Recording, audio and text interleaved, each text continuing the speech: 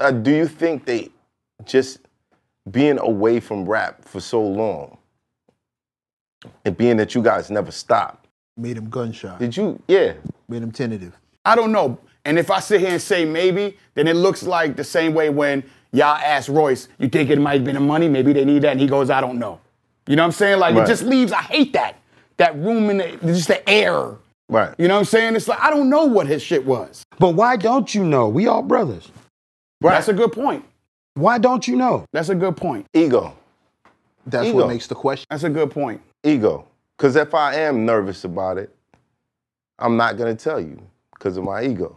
Well, here's the thing, though. I already proposed that to Royce on the phone one time, and I told him, you know, Joe wasn't talking to me, so I told I told Royce, I was like, yo, if he want us to come down to the studio and we get some reps in, so he can get back on his A game, let's do that. I do remember that. that. I remember Right. that happened. Let's do that. Right. He might have been spitting verses to somebody. Nah, Joe, that ain't it. It's over for you, dog. You don't Well, got it no more, well, nigga. maybe he and he's did- like, I- no, I can't do In this my, heart, album. in my heart of hearts, man, he became so successful in the podcast space. Why would he go back to that shit? Yeah, I don't. kno- In that same breath, you're right. I don't knock that either. I don't knock Like, that. Ah, so You knocked that? So, Whole nother- so then you got Math Hoffa, right? What's up? And um, I'm here. I'm successful in this. Seeing a, a lot more money than my former peers. I still got that passion. Everybody's different. yeah, but that's, still yo, got that you. That's passion. you though. That's you. He be Everybody's playing different. the shit that knocks. Word. And even even when Meg tries to ignore it, I just turn it louder and I'll be like, yo, you heard what I that's what I'm said? saying. Yeah, but that's what I'm saying. crazy, But, but I mean, you coming from a battle rapper too, y'all are super competitive. This- Y'all super Yeah. competitive. That's Um, the epitome of competitive lyrics. Now you're talking about a rapper who battled the battle rapper. Do you think? super competitive? Jay Z rhymed on his beat and he had he felt the, the urge I'm not to taking rhyme on away. it I'm not taking away from his Again, competition right. back then. Mm-hmm. He's about what six years removed from the microphone, maybe. Yeah, he might be just be rusty and That's he was six years. Man, you would get real comfortable in six years. That's a fact. Yeah. You know what I'm saying? And my whole thing is, it don't even matter to me. Just tell me what it is. Yeah. I, I think Joe should have just called him and be like, yo, I don't got it no more. If that's the truth. If that's the fact, if, that's, if his that's what it was, If that's his truth. You know what, what, what I'm I'm gonna say? What the fuck? Nah, you gotta do this, Joe. Fuck that. Nah, just being your But truth. imagine the type of confidence you have to have to say, all right, these guys are some of the best rappers, in my opinion. I stopped rapping for six years and then I'm gonna just start again and be on par. We were already saying shit like, yo, he could just come jump on two or three joints, talk on some joints, and have his presence be felt. He don't gotta But go. Joe- like we were doing, we were doing gymnastics trying to get shit to go to, to go down. Right. It wasn't going down. And let's just it don't a matter. Joe is a slaughterhouse member. He's elite. His fall off is still finishing dudes. Hmm. Hmm. You know what I'm saying? So who you in comp with us? You know what I'm saying? Like, there's no need to do that, right? We got this. All right, cool. Shoot, give us eight bars in the hook. Shit Cool out. Participate.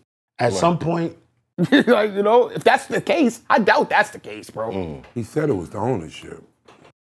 that, He but said it see, was that's the the, ownership. the He own- said it was the ownership. He sat But right but here, they, but once was they the got it off the label for a year and a half, that, and nothing that happened. got blurry there, but he said that he wanted if there were, I think he was they was expressing whatever deal he was bringing still wasn't given ownership. Mm. which And wasn't true. thing- That's a lie, though. That's a lie. And his thing was that he didn't want to perform on nothing that they, you know. Well, the they- whole thing is- want y'all to control it. the whole thing is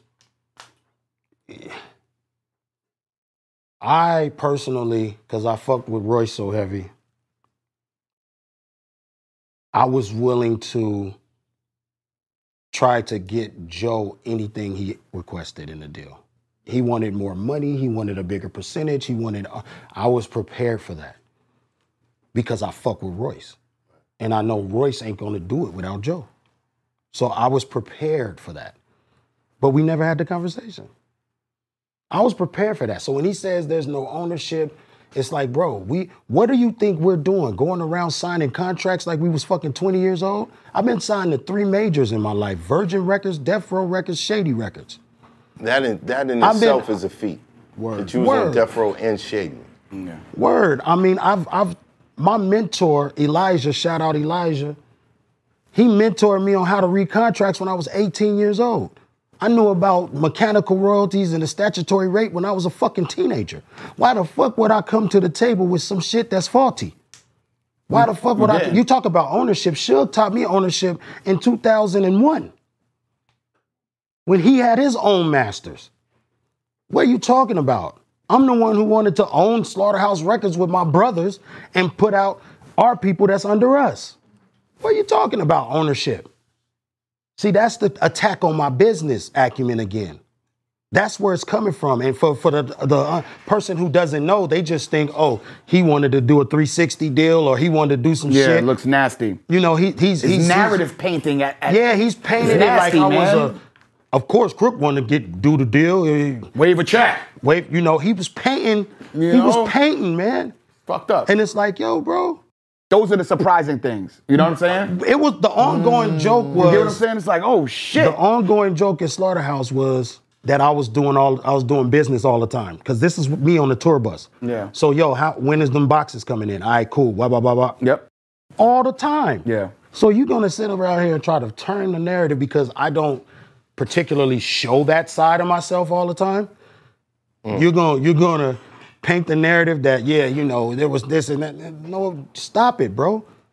You don't want to rap for whatever reason. I don't know. Royce doesn't understand that, or you you and Royce are having a different conversation that I, I I'm not privy to.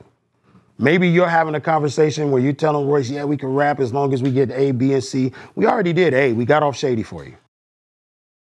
Right. We ended a relationship. You know what I mean?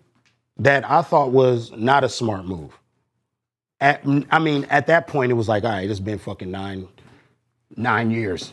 Might as well see if these niggas is gonna really put it together if we get off the label. It's been nine years. But How how difficult was that? it was easy.